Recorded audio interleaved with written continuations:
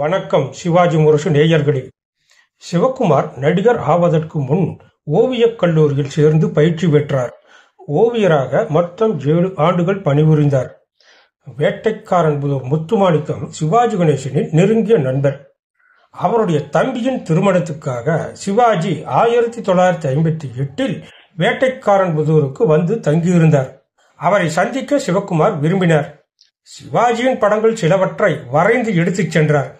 ஆனால் அதற்குள் சிவாஜி சென்னைக்கு புறப்பட்டு சென்று விட்டார். இதை அறிந்த ஒடையகுளம் ஜமீன்தாரின் மகன் சண்முகம் நான் உன்னை சென்னைக்கு அழைத்துச் சென்று சிவாஜியிடம் அறிமுகம் செய்து வைக்கிறேன் என்றார். அதன்படியே சிவக்குமாரை அழைத்துக் கொண்டு ஆயிரத்தி தொள்ளாயிரத்தி ஐம்பத்தி எட்டு ஜூன் எட்டாம் தேதி சென்னைக்கு புறப்பட்டார். சிவக்குமாரின் மாமா ஆறுமுக கவுண்டர் அவர் மகன் ரத்தினம் ஆகியோரும் உடன் சென்றார்கள். ராயப்பேட்டையில் உள்ள சிவாஜி கணேசன் வீட்டில் அவரை நேரில் பார்த்த சிவக்குமார் மெய்சிலிர்த்து போனார்.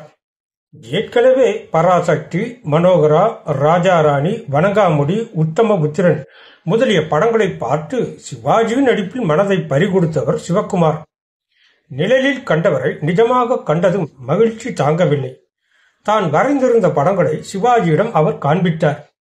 சிவக்குமாரின் ஓவியத் திறமையை பாராட்டிய சிவாஜி ஓவிய பயிற்சி பெறுவதற்காக அவரை மோகன் ஆர்ட்ஸ் என்ற திரைப்பட விளம்பர கம்பெனியில் சேர்த்து விட்டார்.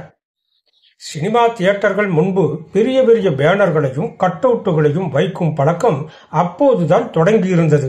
வனகாமுடி படத்திற்காக விலங்கு மாட்டப்பட்ட சிவாஜியின் எண்பது அடி உயர கட்டவுட்டை சித்ரா தியேட்டரில் அமைத்து பரபரப்பை உண்டாக்கியிருந்தது மோகன்ஆர்ட்ஸ் மோகன்ஆர்ட்ஸ் அதிபர் மோகனும் நடிகர் எம் ஆர் சந்தானமும் கூட்டாக பாசமலர் தயாரித்தார்கள். அந்த படம் வெளிவருவதற்கு முன்பு சிவக்குமார் ஓவியக் கல்லூரியில் சேர்ந்து விட்டார். நடிகர் சிவக்குமார் திருமணம் ஆயிரத்தி தொள்ளாயிரத்தி எழுபத்தி நான்கு ஜூலை ஒன்றாம் தேதி நடைபெற்றது. தான் ஹீரோவாக நடித்து நிலைத்து நிற்க முடியும் என்ற நம்பிக்கை ஏற்படும் வரை திருமணத்துக்கு சிவக்குமார் சம்மதிக்காமல் இருந்தார். ஒருமுறை சிவாஜி கணேசன் டே சிவா காலா காலத்துல கல்யாணம் பண்ணிக்கும் முப்பது வயசு தாண்டிருச்சுன்னா அப்புறம் பொண்டாட்டி மீது பெரிய பிடிப்பு இருக்காது. பாதி வயசு தனியா வாழ்ந்துட்டோம். இவை இல்லாட்டி மீதி வயசும் இப்படியே வாழ்ந்திட முடியும் என தோன்றும். குடும்ப வாழ்க்கை நன்றாக இருக்க வேண்டுமானால் ஒருவர் இல்லாமல் இன்னொருவர் வாழ முடியாதுங்கிற எண்ணம் வலுவாக இருக்கணும். சின்ன வயசுல கல்யாணம் பண்ணினாத்தான் அப்படிப்பட்ட எண்ணம் தோணும் என்று சிவக்குமாருக்கு அறிவுரை செய்தார். சிவக்குமார் லட்சுமி திருமணம் தண்டுக்காரன் பாளையம் சீத்தம்மா கோவில் திருமண மண்டபத்தில் ஆயிரத்தி தொள்ளாயிரத்தி எழுபத்தி நான்கு ஜூலை ஒன்றாம் தேதி காலை நடந்தது.